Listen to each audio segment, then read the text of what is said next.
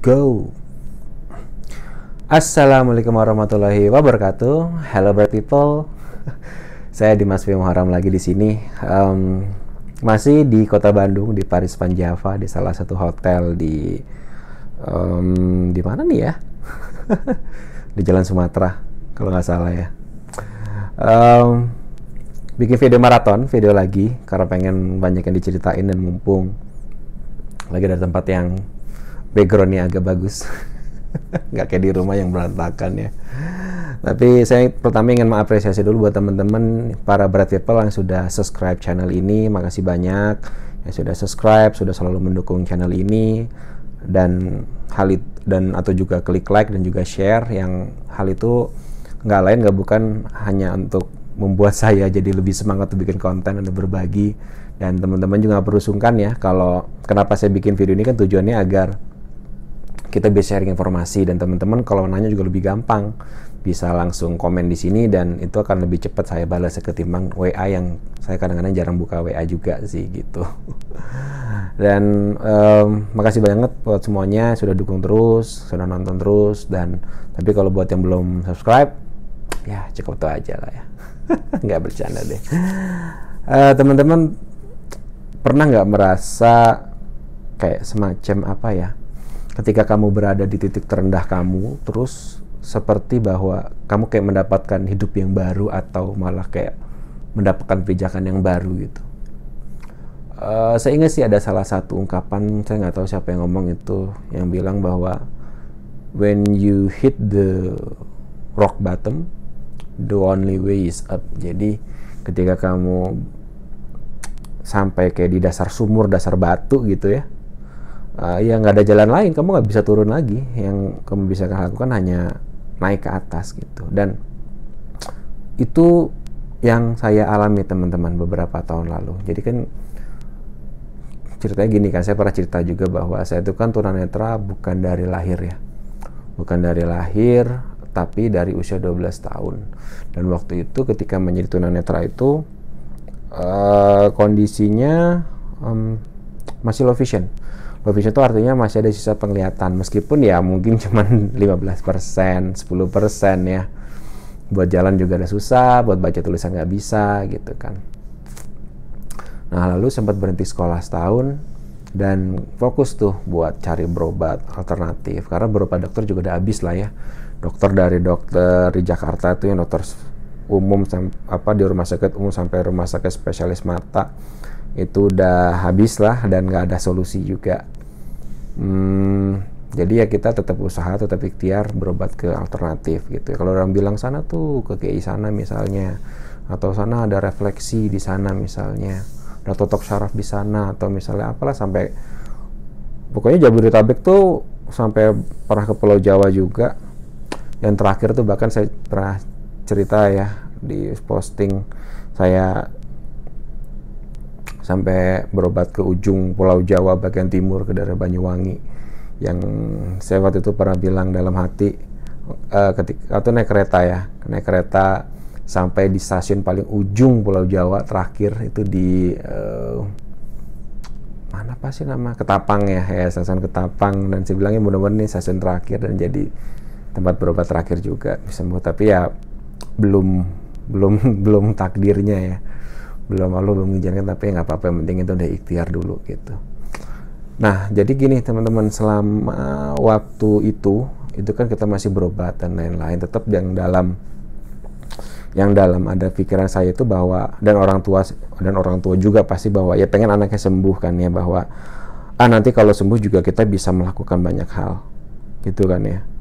Nah, tibalah ketika ya hampir setahun jalan, tidak ada perkembangan yang positif, akhirnya ada tuh informasi di TV um, yang waktu itu yayasan buat anak-anak low vision. Kita datangin ke tempatnya ke sana dan di, dikasih tahu bahwa anak seperti saya itu tetap bisa sekolah bahkan nggak harus ada SLB ya kan? Akhirnya kita lanjut sekolah lah. Dikasih tahu di balik ke sekolah SD negeri saya sebelumnya itu. Dikasih tahu di sama berikan pengarahan atau semacam ya guidance lah ya ke para guru gimana cara saya biar bisa ikut Eptanas biar bisa lulus dari sekolah gitu. Dan akhirnya saya sekolah lanjut ujian dan bisa lulus. Dan saya masuk ke SMP SMP yang baru sekolah baru dengan kondisi saya yang baru. Yang sebelumnya saya sekolah di SD itu ya ya dengan kondisi normal sama seperti anak pada umumnya ya. Tiba-tiba dengan kondisi yang baru yang yang gelap berbeda dengan yang lain. Tapi uh, pada saat itu kita masih berpikir bahwa ah, ya life must go on. Kita nggak bisa cuma menunggu waktu. Oke tetap ikhtiar tetap berharap bahwa ya kalau nanti saya sembuh saya akan bisa melakukan lebih banyak hal lagi. Tapi di luar itu ya apa yang bisa kita lakukan sekarang ya just do it gitu. Ya sekolah aja dengan kondisi seperti itu ya. Harus pakai huruf braille harus pelajaran di kelas itu direkam ya kan? Pakai tape recorder masih pakai kaset waktu itu saya sekolah ya. Masih pakai walkman dan pakai kaset. Yang kasetnya sering kusut juga. Terus juga pakai apa lagi ya? Waktu itu ya belum punya komputer waktu itu belum punya komputer. Laptop masih barang mahal belum punya juga. Tapi long story short ya semua itu berjalan dan tetap pada saat itu saya masih pada dalam kondisi tetap selalu ada pikiran bahwa oh, nanti saya juga akan sembuh dan saya akan bisa melakukan lebih banyak hal lagi. Jadi poinnya teman-teman bahwa di saat itu kayak apa yang ingin saya lakukan itu kayak setengah-setengah. Nggak all out bahwa oh kalau saya juga kayak, semacam kayak semacam punya apa ya kayak punya alasan bahwa oh saya kan sekarang nggak bisa seperti ini karena saya kayak tunanetra saya kehilangan penglihatan nanti kalau saya sembuh saya kan bisa melakukannya lebih baik lagi jadi selalu ada seperti itu teman-teman. Saya nggak tahu uh, people pernah ada yang mengalami juga ya? Nggak ya? Kalau ada boleh dong di share di kolom komentar ya. Lanjut. Lalu tiba pada saat tahun 2015 kalau nggak salah ya. Itu jadi saya pusing-pusing lagi. Nah jadi balik lagi waktu awal saya umur 12 tahun itu kan saya kehilangan penglihatan tuh salah satu gejala itu saya pusing berat kan waktu itu pusing berat pada hari yang sama uh, penglihatan ibaratnya 95% langsung turunlah jadi 20% gitu ya atau 15%. Lalu sebanyak tahun 2000 itu sampai 2015 15 tahun mungkin ya menurun-menurun tapi sedikit-sedikit. Nah, pas tahun 2015 akhir itu saya kayak pusing yang hebat lagi. Pusing lagi 2015 apa 2000 Sorry, 2014 ya. 2014 akhir tuh saya pusing lagi. Dan saya ingat bahwa yang tadinya masih ada sisa penglihatan mungkin masih ada bayang-bayang masih ada ya cahaya-cahaya masih kelihatan objek-objek samar-samar tapi pada saat itu blank. Dan waktu itu saya sempat kayak semacam mengurung diri ya. Kayak semacam mengurung diri di kamar kayak semacam wah ternyata saya waktu itu mikir joknya gini ternyata hampir selama 15 tahun itu menjadi tunanetra 90% ketika menjadi 100% ternyata masih kagok juga gitu. Ternyata masih kagok juga dan iya sempat kayak di kamar kayak ya namanya gelap ya tiba-tiba benar-benar gelap total gitu kan. Dan waktu itu ya nggak nggak tahu apa yang saya pikirkan waktu itu. Yang jelas kayak merasa pusing aja dan nggak enak badan gitu ya. Tapi setelah satu dua hari tiga hari selesai dan ya life must go on gitu. Life must go on dan entah kenapa ya satu hal setelah pada saat itu saya kayak merasa nothing tulus gitu loh kayak ya kalau saya nggak melakukan hal-hal sekarang kalau saya mau nungguin sampai saya sembuh ya nggak tahu sampai kapan. Meskipun tetap pengharapan tetap ada tetapi lebih ikhlas atau mungkin pada saat itu saya merasakan dapat self esteem atau acceptance yang sepenuhnya itu di situ ya penerimaan diri ya. Dan ketika itu ya saya melakukan banyak hal yang mungkin selama ini belum nggak saya nggak berani kayak kayak minder gitu loh. Kayak misalnya contoh um, kayak semacam berani untuk um, misalnya nih ya misalnya misalnya berani untuk uh, mendekati misalnya lawan jenis yang memang saya inginkan misalnya gitu ya misalnya saya inginkan terus lebih take action nggak kayak semacam ah dulu mungkin ah nanti kalau saya sembuh juga saya uh, dia pasti mau sama saya misalnya gitu. Tapi nggak saya langsung mikir bahwa saya harus take action kayak gitu. Misalnya dulu ada pas zaman sekolah misalnya ya ada yang saya sukain ya kayak sempat ada dikontak lagi waktu waktu itu dan coba take action gitu ya. Coba ini. Ya meskipun hasilnya ya ya gagal juga gitu. Tapi kan paling nggak saya nggak pernah nggak penasaran dan dan um, dan biasa lah ya di balik uh, pria sukses tuh ada mantan mantan yang menyesal. Gitu. enggak lah bercanda ya. Ya namanya orang nggak ya namanya saya selalu meyakini ya bahwa saya coba selalu meyakini ya. Coba meskipun kadang-kadang ya ter, ter, tergoda juga untuk menjadikan itu sebuah kambing hitam juga bahwa ketika kita mendapatkan penolakan dalam kondisi apa pun baik itu dalam kondisi perjodohan percintaan atau misalnya pekerjaan dan lain-lain ya saya selalu berpikir bahwa oh, itu bukan karena di kedisabilitasan saya tapi karena saya memang kurang satu hal A B C D. Yang sebetulnya saya kalau mau berusaha lebih keras lagi lebih baik lagi mungkin saya bisa mengimprove itu saya nggak mau berpikir negatif orang oh kak nggak mereka nggak mau saya karena saya disabilitas. Ini nggak ada gunanya juga soalnya. Ini kan disabilitas itu sesuatu yang pada saat ini nggak bisa saya kontrol. Nggak bisa saya ubahkan. Itu melekat pada diri saya gitu. Kalau orang nggak bisa nerima itu ya udah. Tapi alhamdulillah ya sekarang saya dapat pasangan istri saya yang ya memang saya butuhkan. Yang saya saya butuhkan dan Allah memang ya adil lah ya ngasih sesuatu itu memang yang selalu yang kita butuhkan dan alhamdulillah sampai anak juga udah dua dan happy juga dan ya alhamdulillah semua yang penting kita syukurin kan. Terus apa lagi ya? Nah waktu itu juga um, selain itu kayak lebih berani apa ya? Mungkin kalau selama saya lulus kuliah itu kan saya cuman track record kerja saya itu uh, lebih banyak freelance. Terus juga um, lebih banyak freelance terus juga nyari project ya kan? Dari project kita pernah dapat dana hibah juga untuk menjalani project. Terus um, yang bikin website jasa-jasa gitulah terus diundang jadi pembicara dan lain-lain. Ada sih penghasilan lumayan gitu kan cuma kan nggak stabil ya. Nggak stabil dan namanya orang itu kan harus memikirkan masa depan. Kayak akan butuh untuk berkeluarga juga ya ada bersosialisasi, ada kondangan, ya kan? Itu butuh duit loh kondangan lo ya, nggak cuma makan doang, ini butuh uang lo itu kan.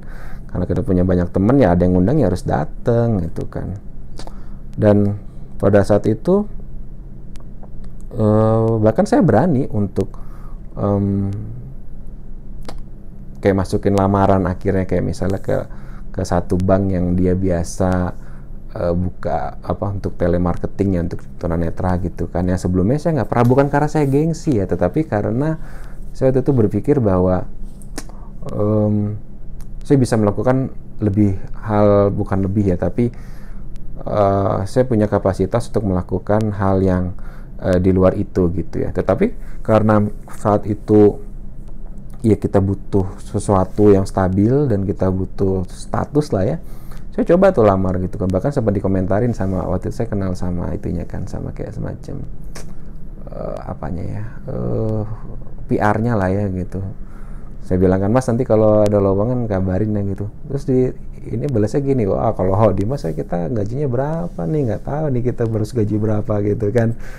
Jadi kayak dianggapnya ya gimana ya kayak mungkin selama ini saya pernah sering jadi pembicara sering uh, ya ngobrolnya juga sama direkturnya bank itu juga pernah sama-sama jadi pembicara juga gitu. Jadi ya begitu. Padahal kan kita juga butuh living kan ya better living gitu yang stabil gitu yang penghasilan pendapatan yang stabil. Cuman ya susahnya di situ satu hal ya. Bahkan saya berani loh untuk itu. Terus juga akhirnya saya um, waktu itu um, keterima kerja sebagai PPNPM atau honorer di Kementerian Kominfo juga itu juga uh, saya inisiatif bawa lamaran terus pas jadi pembicara juga bareng sama um, apanya waktu itu ya pimpinan di situ saya langsung sodorin kasih lamarannya gitu langsung inisiatif aja gitu ya. Tapi alhamdulillah ya diterima ya dapetnya yang di Kominfo itu. Yang di telemarket yang telemarketing itu karena apa apa ya udah sempat datang juga ke tempatnya tapi nggak nggak dipanggil juga sih gitu nggak tahu deh. Itu mungkin karena pas lagi nggak ada lowongan juga atau nggak tahu ada alasan apa ya. Tapi yang jelas saya nggak dipanggil. Dan dapatnya malah yang di uh, Kementerian Kominfo. Gitu mungkin memang takdir saya di situ sih. Memang Allah kayak semacam menyuruh saya buat ya lu kerja jangan yang buat individual tapi yang kerja lu dapat penghasilan tapi bisa bantu orang juga. Ya alhamdulillah ya di Kominfo kerjanya ya jadi instruktur komputer kita ngajarin ke masyarakat komputer bicara ke teman-teman komputer tunanetra juga gitu. Jadi ya tetap bisa ngasih impact lah gitu. Jadi banyak hal teman-teman yang ketika di tahun 2014 akhir itu ketika saya kayak semacam berada di titik terbawah diri saya gitu ya uh, kayak semacam berada di dasar sumur lah gitu. Tapi ya saya nggak punya jalan lain selain naik ke atas akhirnya saya berjuang dan udah nggak takut-takut lagi tuh. Akhirnya kayak lebih berani lagi buat naik bus sendiri naik Transjakarta. Kayak sekarang saya juga ke mana-mana naik Transjakarta naik KRL gitu ya. Dan itu jadinya lebih berani gitu. Nggak takut. Ya udah pasrah aja. Bukan pasrah tapi tawakal ya namanya hidup mati ini kan udah ada yang ngatur ya kayak gitu. Yang penting kita tetap hati-hati berdoa ya kan tetap ada mekanisme bagaimana kita tetap bisa aman gitu ya. Dan itu terjadi. Dan saya nggak tahu teman-teman mungkin juga ada punya seperti itu. Ketika kondisi yang tengah-tengah yang serba nanggung tuh akhirnya kayak nanggung gitu yang mau ngapain nanggung kayak ada yang ditunggu-tunggu tapi nggak jelas yang ditunggu tuh apa dan kapan. Tapi ketika kayak semacam oke okay, it's finished uh, I have to do something gitu kan? Uh, life must go on dan akhirnya ya kita jadinya lebih berani dan nothing tulus. Mungkin itu yang bilang orang nothing tulus seperti itu kali ya. Dan akhirnya saya sampai ada sekarang ini di depan depan teman-teman saya punya alhamdulillah punya pekerjaan yang baik teman-teman yang baik di pekerjaan juga dan tetap bisa sharing seperti ini terus juga tetap bisa berkarya juga dan saya syukurin semua itu gitu ya. Meskipun pada satu nanti ya tetap ikhtiar tetap berdoa bahwa tetap ingin bisa sembuh juga. Tetapi ya itu udah kayak semacam jadi ya kita nggak ada yang tahu lah takdirnya Allah kayak gimana ya. Gitu. Kalau misalnya itu terjadi alhamdulillah enggak juga nggak apa-apa. Life must go on gitu kan. Itu berarti kan adalah hal yang terbaik yang Allah berikan buat kita oke okay, guys itu aja. Kaget deh. Yang mau saya share dan mudah-mudahan bermanfaat ya. Bermanfaat dan kalau ada yang mau sharing juga silakan ya. Jangan ragu-ragu uh, ketika jadi kolom komentar kita bisa ngobrol bareng dan nanti kalau ada yang perlu saya tanggepin dalam video saya bisa bikinin video lagi atau kalau cuma cukup di komen langsung di komen ya. Oke okay, thank you. Uh, see you around Dimas Prasetyo Muharam is signing out and see ya